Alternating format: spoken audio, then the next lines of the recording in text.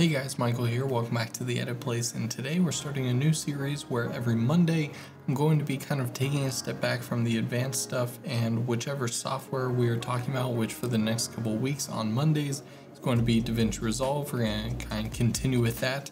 Uh, this is going to be like a 101 lesson on how to get started with Resolve. So hopefully anyone new out there who maybe is switching from another program or is choosing Resolve to be your first editing uh, software. This series can kind of help you get started, learn the basics of each page.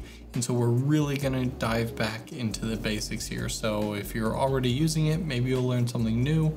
But if the basics don't interest you, definitely come back on Wednesday and Fridays for more traditional content in the various different editing programs. And so with that out of the way, let's get started. And so right as soon as you make a new project, you're going to come to the media page. If it's open to something else, down here at the bottom, you have all of your different editing pages here, and we want to be on the media all the way to the far left. Now, if you are coming from another editing program, this all should look relatively familiar because they're all laid out the exact same way. You have your media browser or media bin right up here on the top left. You have your timeline viewer, or in this case, source viewer on the right. Down here at the bottom, you have your media pool. And then over here, you basically get your choice between looking at your metadata, which is the specifications of each shot you're looking at, you can look at audio waveforms, or if you're capturing from a device, so this would be like if you're literally plugging in a camera and trying to capture something straight off of a drive or a camera, you go here. Now, depending on what sort of screen size you're on, if one of these boxes isn't big enough for you, feel free to put your mouse anywhere on some of these lines here, and you'll be able to adjust accordingly.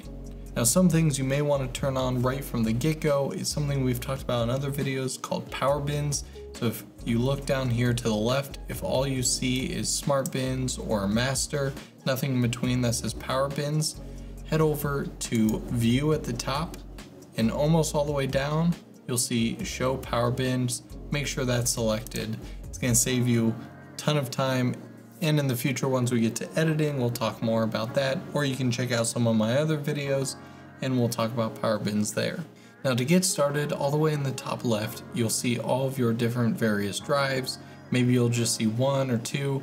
Basically, this is where you go to find your footage. So my footage is always served on my little server here that's plugged in, uh, but if you have an external hard drive or directly on your computer, basically just want to go in and find the folder of the project that you are currently working on. Now let's say you're like me and you're always accessing some of the same files over and over. For example, if I go to my server and then YouTube, I'm always accessing the edit place to edit these videos.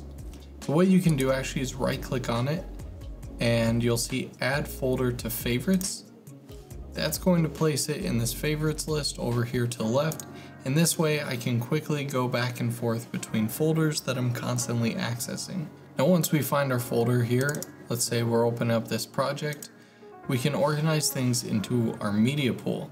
Now before you start dragging in footage, I recommend going through and creating some bins first. So underneath master, you want to right click and you'll see new bin, or you can go shift command N. Now what are bins? Bins are essentially folders that you can create within your project to store different things and it basically helps you keep organized. And so for example, I'm gonna create a bin called assets, create a new bin called B-roll, maybe one called music, and you can create as many different bins as you like for uh, the different components of your project.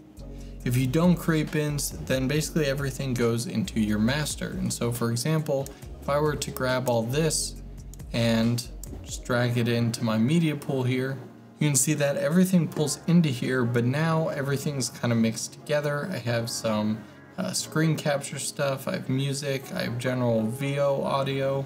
And so to clean things up a bit, I'm basically going to highlight all of the clip footage and we're going to drag that into the B-roll section. I'm going to drop the music into the music. I'm going to take the screen capture and the voiceover file and put it in assets. So now I can clearly see the distinction between the bins. Again, helps you stay organized and kind of know where everything is without being jumbled together. Especially if you're doing something like a short film where you have multiple different scenes or multiple cameras, bins are crucial for things like that. I want to show you some different viewing options that you have on each of these different panels here is for example, if we go into the B-roll section here and towards this top right, we see a handful of icons the same as we do in the media browser. Now currently we're on thumbnail view, which basically shows us an abbreviated version of the file name, and then we can see uh, a thumbnail of what the clip is. But if you want to sort by date or something else, you can click this, which goes to list view.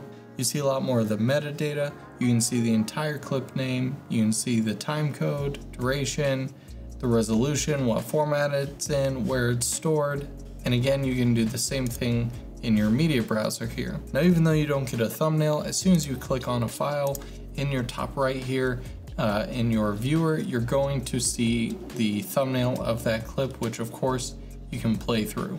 Now going back to thumbnail view on everything, let's go back up to our media browser here and we're to choose this video file here. Now of course I can start to play here. Now what I did before was simply drag this file into my media pool and that gives me that whole video clip or video whatever it is to play through. But let's say you only want to bring in a certain section like let's say I just want to bring in the intro. Then what you're going to do is go over to your viewer here you're going to move the playhead to wherever you want to start the capture. And I'm going to hit I, and you can see that lit up this entire line here. And then you either play or drag the playhead until the point that you want to stop. So let's say right here, and I'm going to hit O for out. And now you can see just this part of the line is selected, the rest is not. And so now I'm just going to click anywhere over here on the actual thumbnail.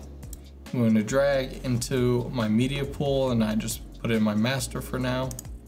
And so now if I click on this down here, you can see that I simply just dragged in these handful of seconds here rather than the entire video. Now you're not cutting anything, you're not messing with that original file at all.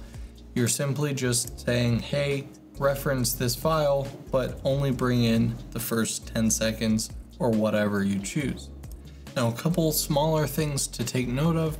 In the top left, you can see a different percentage up here at the top.